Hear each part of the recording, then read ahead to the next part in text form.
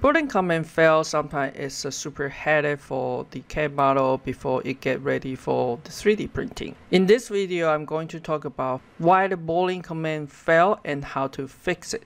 Are you ready? Let's get started.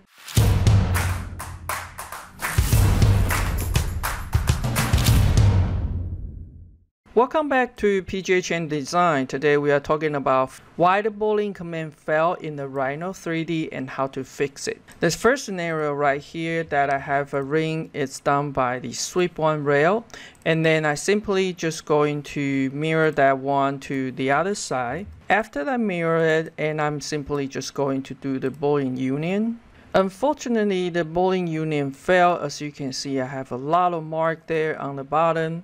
And both of them are closed solid poly surface. It should work. However, in Rhino, if your seam is 100% overlapping, that may not work.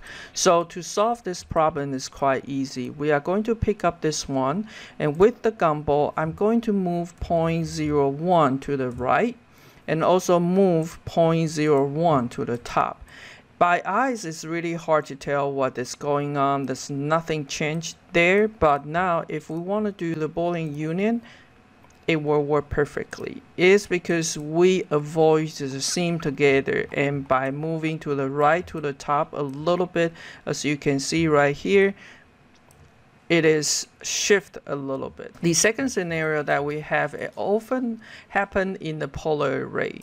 So every object has a seam and when all the seam coming into the one point then you might have the problem for the Boolean. And sometimes it is not the seam issue it may be just simply that your computer need to calculate everything at once. So let's give it a try. We want to do the Boolean union and we hit enter. And it say Boolean union fail on our command bar but it doesn't give you any of the mark to show you where it's failed okay? So that is the case maybe the computer cannot handle all of them at once so let's give it a try. I'm going to Boolean union only two of them. And then it seems working. Let me change it into the red color here. I'm going to Boolean union those. And then it seems working as well so that's changing into the green color. If that is working for you, then I'm going to Boolean union every two small union first and Boolean all of them together. So assume everybody is Boolean to as a pair and then I want to Boolean this one and this one together and it show Boolean union fail again. So that is a point that we need to consider if the seam is aligned and apparently in this case they are. So to solve this is really similar with the first scenario solution. We want to move in this 0.01 out and 0.01 up so it is not aligned anymore so let's do the Boolean union then this is how we get it work together in the third scenario, it happened a lot too is we are looking at a two shape here. Each of the shape, they both are the closed form. As you can see, it's a closed extrusion here, and it is a closed solid poly surface here. However, if I wanted to do the Boolean union together, this one, this one, and you hit enter, it will say it is fail, and doesn't tell you where it is fail. Okay, so if I'm moving this one out a little bit and I try to do the Boolean union here and here, it, it works. So what exactly the problem on this one? Let's go back one step and we want to take a look right here. As you can see, the shape is overlapping here it happened a lot when you trying to do the pipe. So let me hiding this one and delete this one. As you can see that the pipe diameter is too big for the turn over here. So let's take a look on how big is that turn. Apparently the smaller this one is 0.37 here.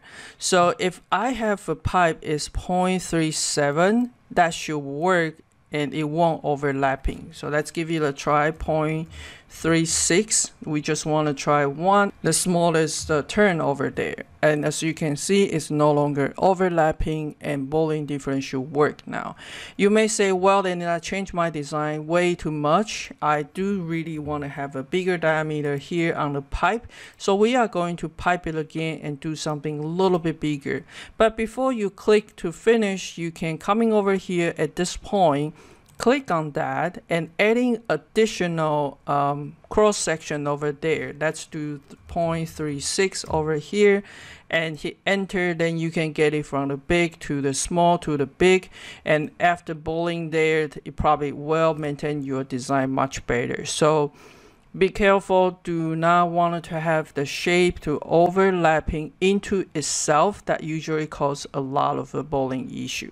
The last scenario it looks really simple, but it is a lot of a beginner uh, issue is you have the shape over here. It shows it's a closed so uh, surface. You have another shape over here. It say varies and group together.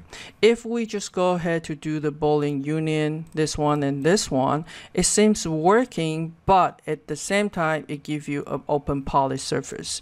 So let's take a look on what's going on here. We have this is called vary and group and if we ungroup it and again this is a really common mistake for the beginner it's because the group and the join is really different two things. I have here is an open poly surface and I have this one is a surface.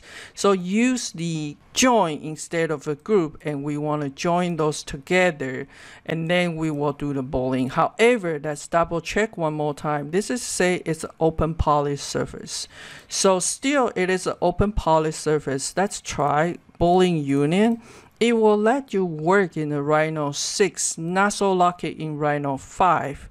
Um, but however, this is a still open poly surface, which means when you go to print, this is not watertight. There's a leak somewhere, and I'm guessing it's right there. If it is too small and it's hard to see, you can use Analyze and you have an Edge tool and you want to show Edge click on that and you will get that pink line there to show this is the negative uh, edges over there. I will suggest to fix your negative edges before you do any shape of a Boolean union or difference. So how we gonna fix this one is I'm going to explode everybody. Apparently this was accidentally shift. So that's using the move command and we want to move from here to here endpoint to the endpoint so and then let's join everybody back double check on this one this now is a closed solid poly surface if we do the Boolean union this one and this one and click on that it will show it's a closed solid poly surface on our property. Thank you for watching and see you next